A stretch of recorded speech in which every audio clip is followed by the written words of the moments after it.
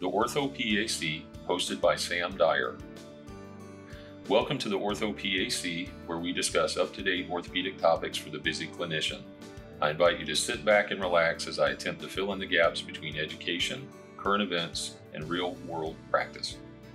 Welcome today, Dr. Silverberg. Dr. Silverberg's radiologist out of Charlotte, and he recently gave a talk at our Charlotte meeting about trauma imaging. I'm so excited to have him on the podcast today.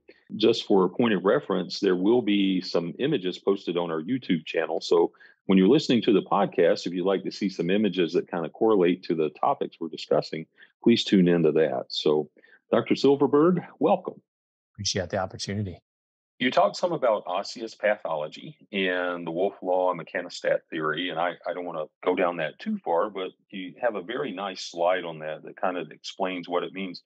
Would you mind going through that a little bit and just telling our listeners what's meant by the Wolff law and mechanostat theory and how that's relevant for osseous pathology? Sure, and I feel like uh, you know I will do my best to keep this brief, but uh, I feel like I'll do a disservice to to Wolff and uh, the other physician that came up with mechanostat by summarizing. But essentially, you know, there's a there's a saying that we never treat an image, we treat a patient, and I think when we look at images, we have to take a step back and realize, you know, this this is a patient. It's not just pictures, right? So understanding things like Wolff's law and how it applies to imaging is same with mechanostat and how it applies to imaging really helps us to understand the significance of what we're actually seeing on that image. So Wolff's law on bone, to summarize, is just a law of theory created by a surgeon, just explaining how bones respond to stress. So for example, if we look at the upper extremity in a you know right-hand dominant professional tennis player and compare that to their contralateral side, it's very common that dominant hand that they use the racket in is going to have thicker bones than a non-dominant side. Well, why is that? It's basically a result of that bone reinforcing itself. It becomes thicker because thicker bones are less prone to fracture and stress related injury. So it's the bone that is kind of changing in response to stress. And that's basically what Wolff's law says. You know, the the mechanostat theory kind of improved upon that because Wolff's law is not perfect, a perfect description. And mechanostat theory is kind of seen as Wolff's law version two, essentially. And it better describes how bones model and remodel. What we mean by that is uh, remodeling is a normal function. Bones, re- all, all of our bones remodel. Just you know, an average year, I believe, I think it's ten percent or less, or maybe fifteen percent or less of our bones that remodel just in response to our normal daily activities, kind of taking out the old bone and putting in the new. Or if we have an area of bone that's being exposed to more stress, more bone is is deposed in that area and less bone is deposed in a different area. And it's just a way of changing the makeup of the bone. It's not changing what the bone is made of, it's changing the distribute, distribution of the components of the bone to support or scaffold essentially areas that are placed under more stress. And so that's important in patients that don't weight bear. And we get osteopenia, right? Because they're taking bone away from areas and putting it in places that would benefit from using more bone. So if someone's not weight bearing in the lower extremity, that bone's not being utilized. It's going to be remodeled and bone's to be taken away. In the opposite end of the spectrum, if someone is constantly, you know, exposing a bone to higher stress, let's say a runner, you know, in the calcaneus or something like that, um, or metatarsals, they're going to need a little bit more bone to pose because they're exposed to more stress. So this is really important to kind of understand because when we look at images, we're seeing that in action. We're seeing these bones remodel, and that could be pathologic or it could be physiologic. And that's kind of what we need to, to suss out. So a great example of this, and I think an example that is relevant to kind of so many paths in orthopedics, is medial tibial stress syndrome because it's a spectrum of, of, pathology. It starts when the muscle and bone interface is overloaded along the tibial periosteum, and then it can progress all the way to cortical fracture. So there's a classification or grading system in use called the Fredericson classification system. I'm not sure, you know, if you guys use that.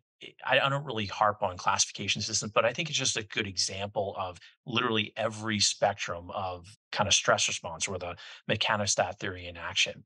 In the lowest grade of medial tibial stress or shin splints, it's due to a traction periosteitis, where that tibialis anterior tugging at the interface of the attachment mm-hmm. bone to the anterior tibial cortex. And it's overloading the tibial periosteum. It's tugging, tugging, tugging. So in the early stage, the only manifestation on imaging is just a little bit of periosteal fluid. So on a fluid sensitive sequence, we see this little bright signal that goes along the anterior cortex tibia. And that's literally it. That's the only finding. So if we take a step back and we look at that, you know, most people say, oh, little bit of fluid, it could be non-specific. But again, putting it in the context of the mechanostat theory, that bone is remodeling. That that where we that tiny little fluid, that little subtle finding is telling us that bone is being exposed to a higher degree of stress than it can handle, and the remodeling process may begin. Now, we take that patient, give them rest, let them recover, and then they go back. That remodeling is over. Now, that bone, that periosteal and muscle interface can withstand higher stress. So that's why shin splints get better, right? Because the patients remodel. Now, let's say that patient doesn't rest and they keep going, and they keep running. They're exposing now that bone to chronic repetitive stress at a higher and higher degree. And eventually, that will lead to a fracture. So what we see on imaging is we get that little bit of fluid around the cortex. It continues to, to progress. They get marrow edema within the medullary cavity. Again, on a fluid sensitive sequence, uh, edema is bright. It's going to be bright signal in the medullary cavity. Usually starts along the endosteum. Once it gets worse, goes through the entire medullary cavity. And if we keep let you know keep going and we don't kind of uh, intervene clinically, that then will be transmitted to the cortex and we've got a cortical fraction. A fracture will be bright signal on a fluid sense sequence in normal dark cortical bone.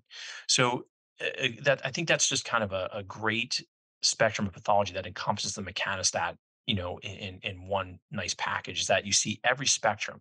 If bones are overloaded, they are going to respond. They are going to remodel, and it's important for us, just me as an imager, uh, as a muscular radiologist, to say that bone is telling me something. This is at risk for an injury, and we want to catch it early. So the reason it's important to understand things like Wolff's law mechanostat is to think about, well, you know, what is this? What is this image telling us in terms of the pathophysiology and the histology of bone? And just that little fluid, that tiny little fluid along the anterior course of the tibia in that setting, tells us this is a setup for a stress fracture. And again, you know, most of these patients come in and it's obvious, but these subtle patients are really ones we want to pick up because we can help prevent things progress to that fracture state.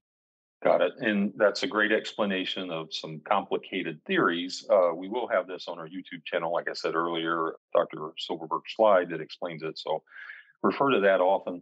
I, I do want to ask you something that I didn't put on the script just out of curiosity. Sure let's say you and common things occur commonly you know you see a fracture on a radiograph you know it's the same i'm sure there's you know similar findings with mri but if you see something that's suspicious is there a way to measure the density of that material or that anatomy and compare it to something else that would say oh this is not good this is more likely this or you know uh, even with bone like you were talking about the tibia stress fractures the osteopenia? Can you measure the density of it or kind of get a uh, I, I, I think in CT it was called a region of interest where you could measure it and you know compare it to other anatomy and kind of get an idea. Is that ever something that you would use?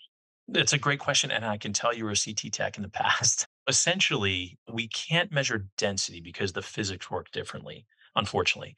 But there are some things we can use. And so, you know, I guess one other question is: Is are are you looking to say is this a pathologic fracture, regular fracture, or is there something else in bone? Like, is this an infiltrative process rather than marrow edema? Is is that sort of the root of the question? Exactly, and and that and if we take that a step further, you know, we get the MRI and it comes back and it says, well, it might be this, it might be that. Further imaging, and and I'm just trying to help our listeners understand why you can't always use this modality and say that's what it is. We need another modality to kind of better define it. Gotcha. Yep. So going back to soft tissue contrast, because I think this plays a role in our ability to diagnose. When we talked about sequences, I'm I'm saying, you know, this thing is bright on T1 or it's dark on T2.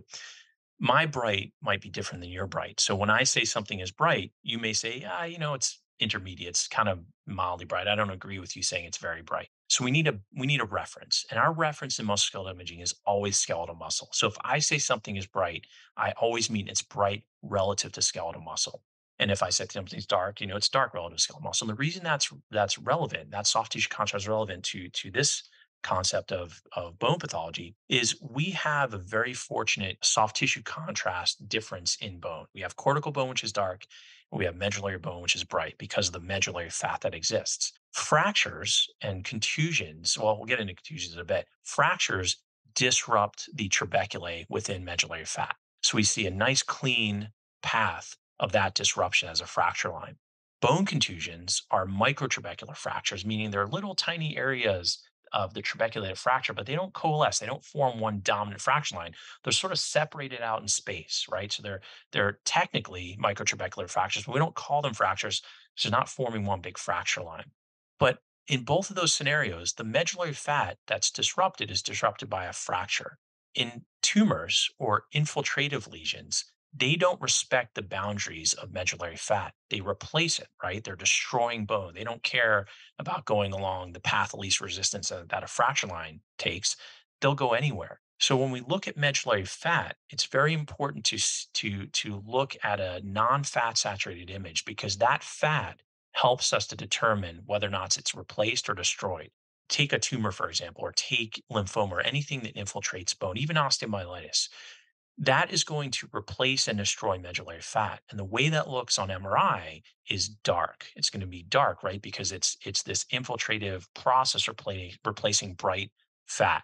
And if the fat's replaced, it's no longer going to be bright because it's not there anymore. So one thing other than density that we can use is the signal intensity. So typically, contusions are going to be either occult, meaning we can't see it because it's going to be bright, or they're going to be brighter than muscle on a T1 non fat saturated image. Fracture lines are typically darker than a muscle on a T188 image. However, a line, like I mentioned, is going to be linear and well formed. If we see something that is darker than muscle and is not a fracture line on a T1 weighted image, that gives us pause because that says that marrow fat is potentially being replaced It might be a tumor. If we see a cortical fracture line, it's nice and distinct, it's game over. That's a fracture, we're done. Most tumors that cause cortical disruption don't do it along clean planes, right? It's not again, it's not going along the path of least resistance. That's a tumor eating away or or kind of breaking out of its cortical shell and not going along a finite path. So to answer your question kind of uh, succinctly, we don't use density, but we use marrow replacement and we use the soft tissue contrast created by that T1 bright fat being replaced as our kind of equivalent. There are also some more technical things we can do. And I'll just mention this briefly just so people are aware of it, but this kind of gets a little bit more complex. There's something called opposed phase imaging. And opposed phase imaging basically just looks for medullary fat.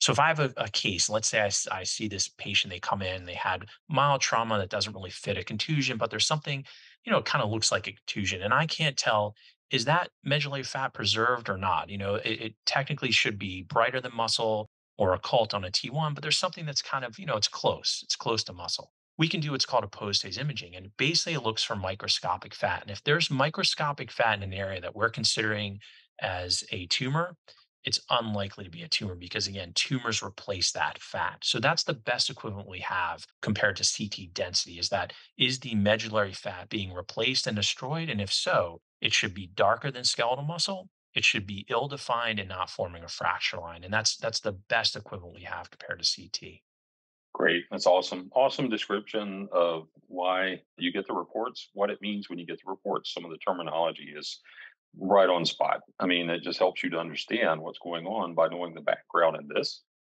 Dr. Silverberg, thank you so much. Likewise. Thank you guys. And I really appreciate it. Listeners, follow along on our YouTube channel. Um, we'll have several images of Dr. Silverberg's talk that correlate with the podcast. So please follow along there.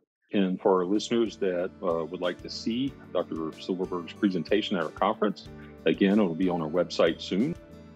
Our annual meeting this year is called Ortho in Indy. It's from August 21st through August 25th. The venue is the JW Marriott.